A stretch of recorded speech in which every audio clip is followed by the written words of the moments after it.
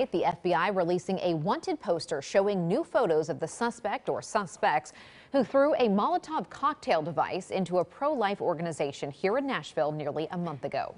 News 2's Kendall Ashman is joining us live in Midtown where she spoke to businesses around the clinic. They are concerned the person behind this still has not been caught. Kendall. Haley, that's right. Business owners I spoke with say they weren't at work at the time when the Hope Clinic for Women was vandalized, but they say it came as a surprise when they found out the very next day. I feel safe around here because we've been here around in this area for 25 years. Owner of Royal Thai, Nanita, says after over two decades in business, they moved their restaurant right next door to Hope Clinic for Women.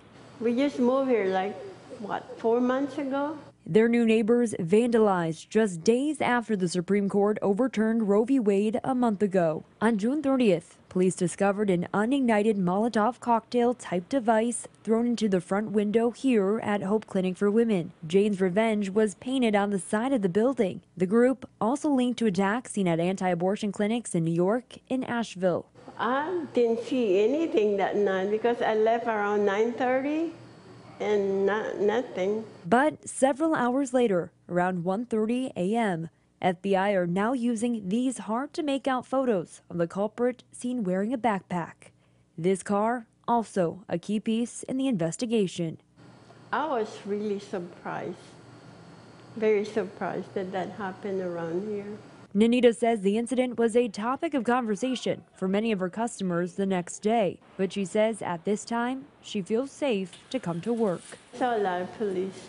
And then sometimes at night now, there are police parked in the back, kind of watching the building. Now, it's hard to tell, but the side of the building still has some apparent paint on the side, even just one month after the incident.